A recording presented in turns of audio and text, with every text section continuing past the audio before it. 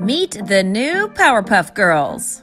According to The Hollywood Reporter, the live action adaptation of the cartoon has found its leading ladies. Dove Cameron has been cast as Bubbles, the one known as the sweetheart but carries a toughness with her. Dove, who is best known for her role in Disney's Descendants, says on Twitter, I cannot wait for you guys to see this show. The script is unreal. I don't think I've ever laughed out loud so much reading anything. She adds that this script is her true fantasy. Chloe Bennet from Agents of S.H.I.E.L.D. will play Blossom, the spunky little Miss Perfect child that holds some trauma from her past. Chloe reacted on Twitter saying, I'm a heckin' Powerpuff Girl now. Broadway's Yana Perrault will be cast as Buttercup, the rebellious one of the three that actually is more sensitive than her tough exterior suggests. Yana hinted at the big news yesterday, tweeting big news in the AM. The popular cartoon is being adapted into a live action show by the CW and will follow the trio now as adults navigating their 20s. It will explore the after effects of being a young superhero and how the three women move on from the past.